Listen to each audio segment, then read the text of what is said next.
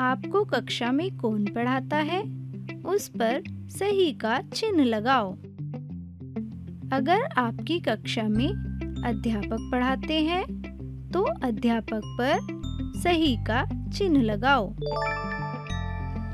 अगर आपकी कक्षा में अध्यापिका पढ़ाती है तो अध्यापिका पर सही का चिन्ह लगाओ।